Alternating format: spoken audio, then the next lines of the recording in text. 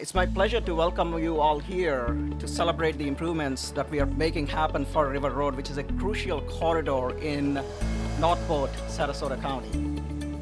Anyone that's driven on this road during any rainstorm knows how dangerous this road is. We are saving lives with what we're doing here today. I won't stop asking for appropriations for this until this is done, all the way from the interstate down to Winchester Road in Charlotte County to ensure that our people in South Sarasota and Charlotte County have the corridor and the safety that they need, specifically in the case of a hurricane, but just to travel every single day.